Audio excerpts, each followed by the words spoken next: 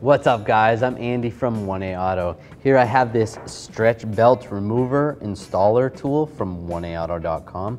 A lot of the newer vehicles have a stretch belt instead of using a tensioner. What they expect you to do is just cut the belt and buy a new belt. Well, with this tool you can take it off. On one side, you push this side on the pulley and you can remove the belt, flip it over, and there's the installing side. Put that on the pulley and you can install the belt. If you need this tool, click the link in the description and head over to 1AAuto.com. Thanks for watching. Visit 1AAuto.com, your place for DIY auto repairs, for great parts, great service, and more content.